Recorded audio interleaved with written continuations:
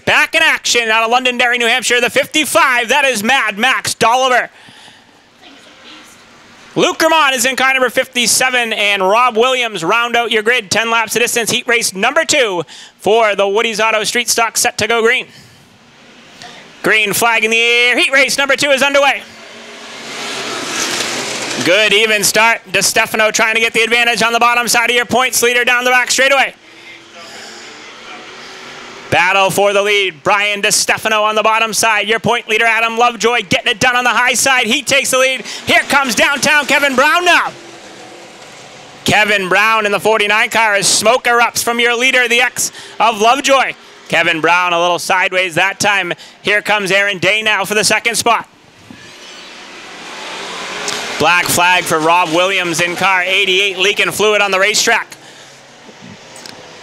DeStefano up the racetrack. He's going to lose two spots, one to AJ Penicetti and another to the 55 of Dolliver.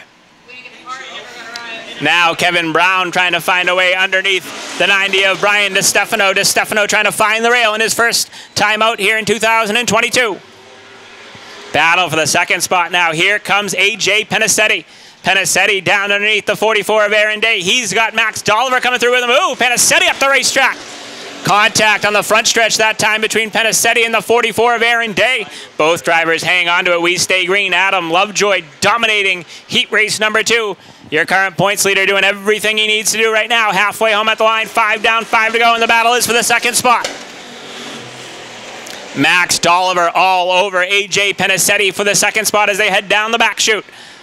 Dolliver in the 55 car. This race car hasn't seen asphalt since 2014. They pulled it out of the weeds, and he's right there in the third spot right now in car 55.